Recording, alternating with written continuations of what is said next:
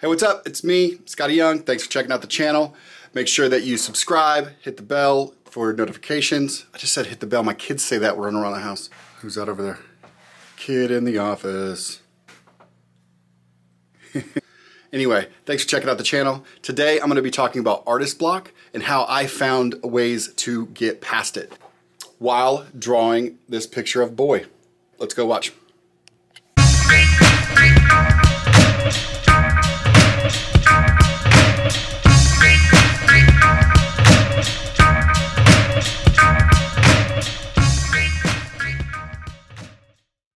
Let's get started.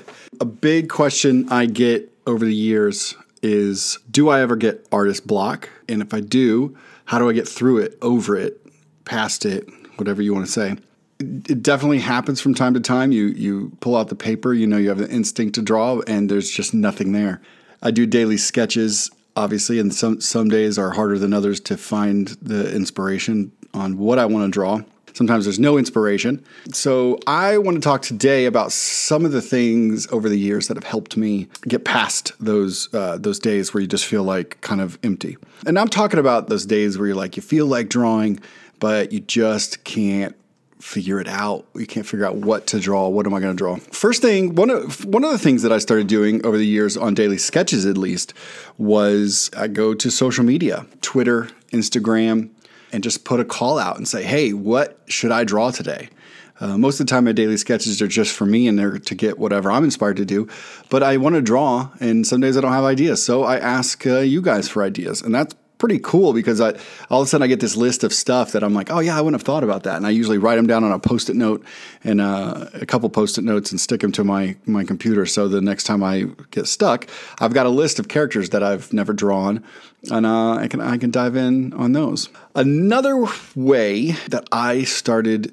This was a long, long time ago. Uh, I don't do it as much anymore, but I would get myself in the habit if I didn't figure out what I wanted to draw for that day, I'd pull open a sketchbook and I'd decide that today is a face day where I'm just going to fill sketchbook pages with various faces. I like to push shape and, and volume and mass on characters, so I would see how far I could take a shape of a you know a man's face, a woman's face, uh, anthropomorphic characters, things like that. And you know you can you can switch up days. So on on days where you're like, God, I have no idea what to draw today, fill your sketchbook up with hands. I'm going to do two or three pages of hands and just look at your hand and and that way ideas aren't the key that day. It's you're just going to work work it out, you know. And, and sometimes through that, the ideas will come. That brings me to my number one fix for me of getting through artist block, and that was finding a character that I could return to on days where I don't really have.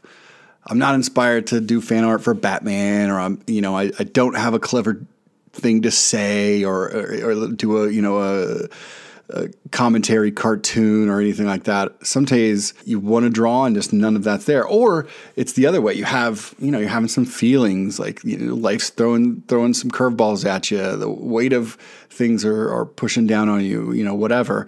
And you want to try to express that and, and you don't know quite how to do that. Well, one of those days of doodling around kind of led me to that character, and that is Boy. For those of you who have been following me on social media over the years, you've noticed that I will often return to Boy, a character that I created who's just a little kid with a backpack, a snapback, and some chucks and a gas mask. I accidentally came upon the design of Boy. You know, one of those days where I'm, I was sketching a character for a different book it was uh, I don't know. It's like called you know some sort of apocalyptic bunny. I drew the bunny and he had a gas mask on and he had these big tall ears.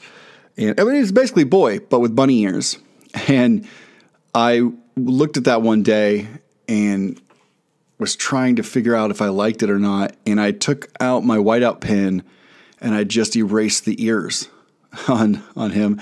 And instead of rabbit feet, I turned those into Chuck Taylors. All of a sudden, I had this character that I liked. It was very appealing to me. I didn't know what to do with him, but I like drawing him. And so I would just start drawing him randomly, doing things in a weird kind of Seussian, like Dr. Seussian you know, Sam Kieth the Maxx kind of landscape. So it wasn't quite fully post apocalyptic. It was just weird and almost like a bizarre dreamscape. So I would just kind of have him do that. But then I was like, well, what is he doing? So I'd have a weird character talk to him. What I found was Boy started to become this lens in which I would explore feelings a little bit and emotions and questions about life, kind of, you know? So if I got to work on a day and, you know, first hour where I want to do my daily sketch and I didn't have any ideas, I would kind of just think like, what have I been through this week? What's something, you know, and if something was heavy or something was really awesome or, you know, any of these things, I just pick I just pick a moment from the week or that day or that morning or a question you'd see online that you're like, gosh, that's a heavy subject matter, you know, or and I'd have boy I'd place boy somewhere in that scenario and explore those feelings. And it just was a really interesting exercise in in uh, not only exploring the questions that we all have about emotions and life and and things like that. But it was a way for me to get over artist block. Um, if I didn't have something to draw, I always had Boy on on the side. He was waiting for me, and and hey, you don't have something something to draw? I'll be. I'm in. Put me in. Put me in, coach. So what I found was creating a character not only gave me something to draw when I didn't know what to draw, but it, it gave me a new direction on how to explore other subject matters besides just um, superheroes and villains and fighting and fan art and stuff like that. It actually gave me a reason to examine people and feelings and, and things like that. Boy, from my from my project, Boy at the End, which it will be a project at some point. I am I've been hunting for this and building and crafting this project over the years, which many of you may know, and I'll do a whole video on that one day. But for now, I just wanted to talk about Boy in the capacity of getting over artist block. There is a few ways, and obviously we could talk about this, you know, forever and ever and come up with a lot of ways. But the few ways that I have found is pull your sketchbook out. Don't worry about finished pieces. Don't worry about blowing people's minds. You don't have something to draw. You can't think. You're feeling blocked.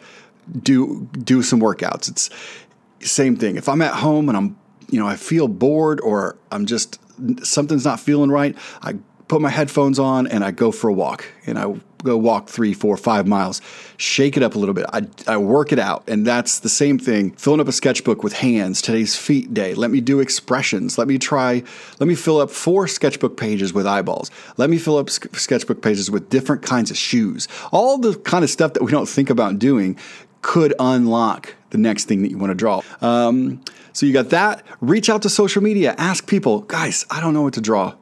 I have no idea what to draw. What, what, give me some suggestions. I'll post them. It's a really good way to interact with your with uh, with all the people as well. Meet friends, you know, get feedback, all that kind of stuff. Um, and last of all, create a character. Give yourself a go-to character. Keep them in the wings. They're always there for you. Place them in a place them in a desert. Place them on a roller coaster. Those are some of the ways that I get over artist block. Um, I hope this was helpful. Uh, I appreciate you guys sticking around. Subscribe, as my sons would say, hit that bell to get notifications when new videos are coming out. Run over to skottieyoung.com for prints and books and comics and stickers and original art and the daily sketches. And uh, you can buy the daily sketch that you just watched me draw. All right, we'll see you guys next time.